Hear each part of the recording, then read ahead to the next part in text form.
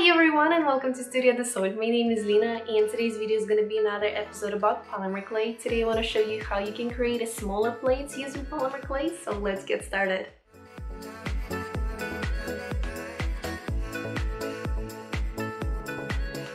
If you want to support me and my channel, don't forget to hit the red button, like this video, leave a comment down below and let's keep going.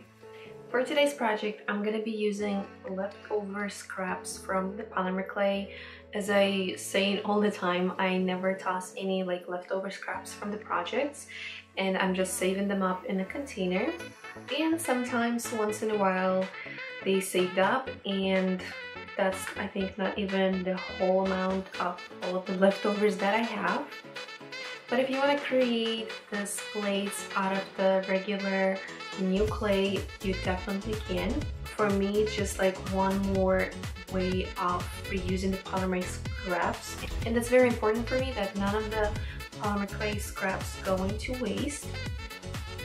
As you can see, I'm sorting out the clay by the colors and also I'm sorting some by like random colors in amount if I have like such a tiny bit of like red color or some colors that don't match I'm gonna combine them all together and mix completely mix all the colors to have one color.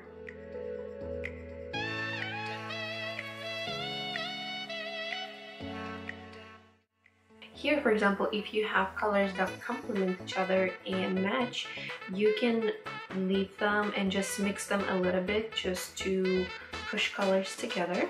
Because if you don't mix them it's gonna also create uh, interesting patterns. But since I have different colors and too many of them I decided to mix the colors completely. And as you can see in the end I'm getting gray purplish colors. And as you can see the green pile I'm not gonna be mixing too much just because I like the combination of the colors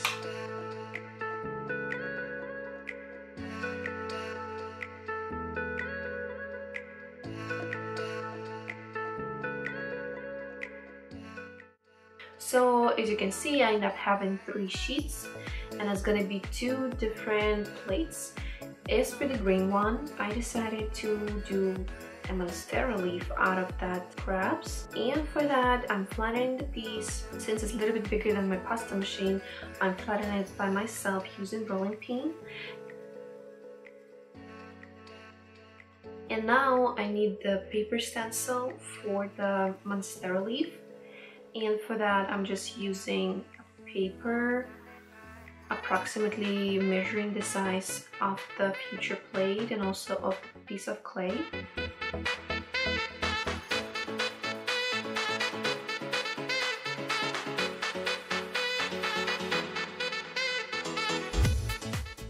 Making a draft on paper, cutting it out, and then applying on the piece of clay.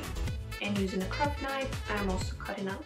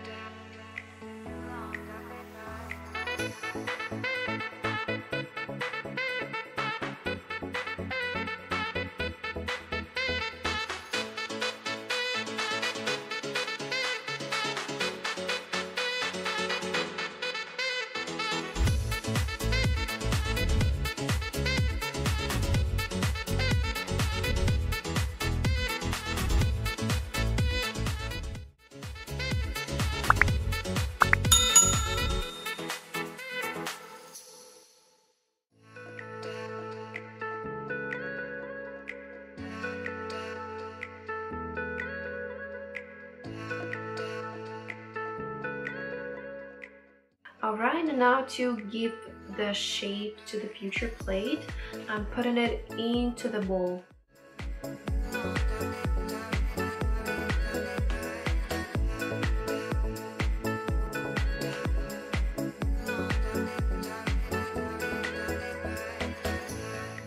making sure it's all even. Also, I'm adding a few additional holes just to make it a little bit more interesting.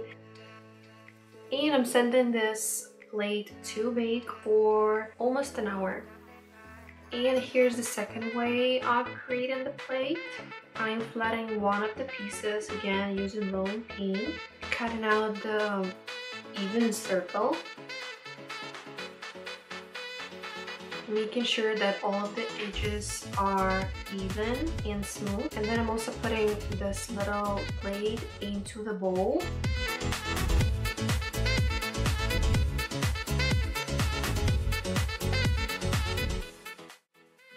Now I'm taking the second piece of the clay. Also, I'm taking really light aluminum wire. I'm, i want to create crystal looking pieces. And for additional support, I'm adding those aluminum wires inside of the clay. I slice five different pieces of different length also twisted a little bit the bottom just to have an um, extra support in the bottom now applying the wire on top of the clay and then covering it with a second piece of clay and doing that with all of the pieces.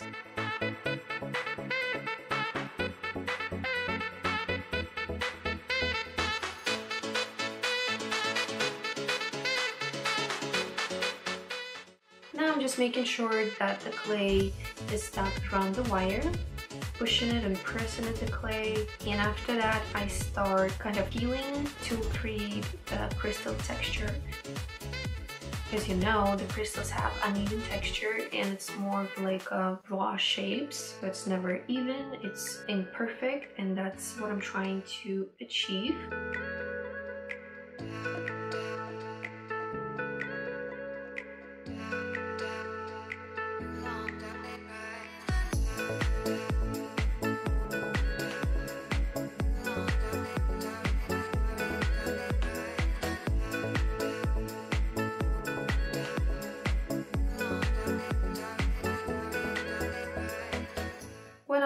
crystal looking pieces already, I start attaching them to my little plate. That, I'm using also liquid polymer clay just to have a better clutch with the surface. I'm also pushing the crystals into the base. Since the plate is still raw, it's sticking pretty well. I attach all of my crystals and now I just want to add tiny little pieces next to them.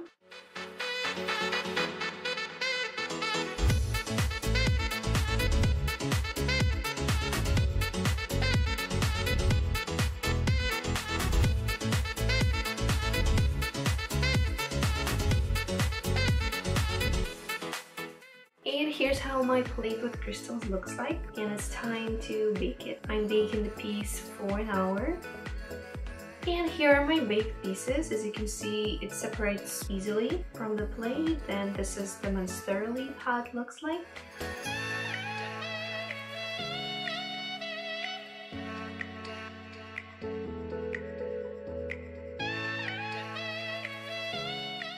For the Monstera plate, I'm not doing much. I'm just adding a little bit of the, I'm adding a little bit of the golden marker on the edges.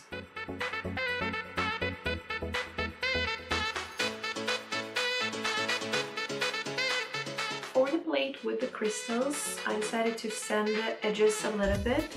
After that, I'm spray painting this uh, crystal plate with the spray paint with the mirror glaze effect and leaving it to dry for 24 hours.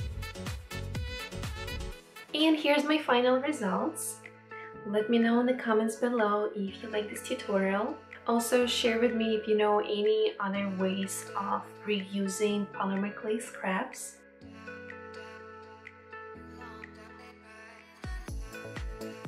And this is it for today guys. Thank you so much for watching. Don't forget to share with me in the comments below if you like this tutorial. Also, don't forget to hit the red button, like this video, and we see each other in the next video.